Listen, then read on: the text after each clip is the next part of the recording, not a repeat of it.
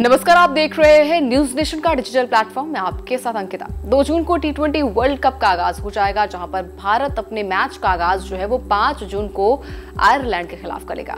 अब देखिए, यहाँ पर भारत बनाम पाकिस्तान के बीच में नौ जून को ये मैच खेला जाएगा, लेकिन उससे पहले भारतीय टीम ने नेट में प्रैक्टिस भी करनी शुरू कर दी है। लेकिन इस वक्त की सबसे बड़ी खबर जो है वो ये है कि इस प्रैक्टिस में आपको जायसवाल नहीं, बल्कि शुभमन गिल, रोहित शर्मा के साथ प्रैक्टिस करते नज़र आए। दरअसल स्क्वाड का हिस्सा गिल नहीं है, लेकिन रिज़र्व प्लेयर के तौर पर वो भारतीय टीम का हिस्सा है। अब देखिए, यहाँ से शुभमन गिल जब प्रैक्टिस कर रहे थे, उससे ये कयास लगने लगे हैं कि शायद क्या यहाँ पर जायसवाल की जगह गिल को मौका मिलेगा।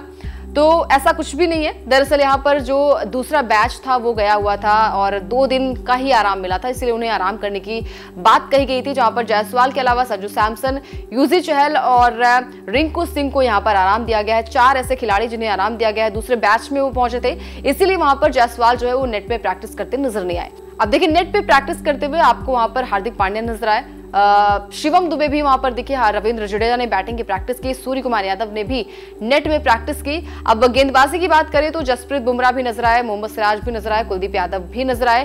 तो ये खिलाड़ी वहाँ पर नेट में प्रैक्टिस करते नज़र आए। रोहित शर्मा के साथ शुभमन गिल ने प्रैक्टिस की। इसका खबर से कोई लेना देना नहीं है कि वो ओपनिंग करते नहीं आएँगे।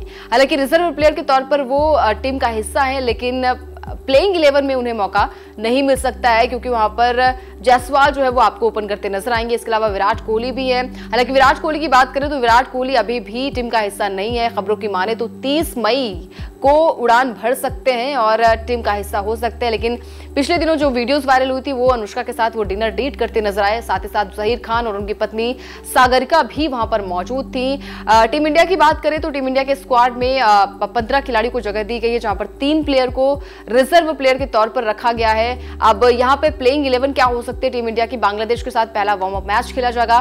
क्या वहाँ पर विराट कोहली मौजूद होंगे? क्या विराट कोहली वहाँ पर प्रैक्टिस करते नज़र आएँगे? ये तो आने वाला वक्त बताएगा।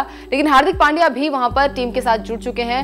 नेट में प्रैक्टिस करते वो भी नज़र आए। अब उम्मीद यही है कि वार्म अप मैच में टीम इंडिया अच्छा प्रदर्शन करे और बांग्लादेश से वो मैच जीते, क्योंकि पाँच जून को जो है भारत का पहला मैच आयरलैंड के साथ होना है, जहाँ पर टीम अच्छा प्रदर्शन करने की उम्मीद है। साथ ही साथ दूसरा मैच जो है वो भारत बनाम पाकिस्तान के बीच में खेला जाएगा। अब देखिए, जैसे ही यहाँ पर इंडिया बनाम पाकिस्तान का मैच होगा, वहाँ पर सबकी निगाहें होंगी कि भारत ये मुकाबला जीते, क्योंकि साल 2021 में जिस तरीके से हार का सामना करना पड़ा था, दस विकेट से हार का सामना करना पड़ा था तो कहीं ना कहीं टीम इंडिया से उम्मीद है कि अच्छा प्रदर्शन करे। तो देखिए, इस वीडियो को लेकर क्या है आपकी राय? कमेंट बॉक्स पर ज़रूर बताए। वीडियो पसंद आ गया हो तो लाइक, शेयर भी कर दीजिए।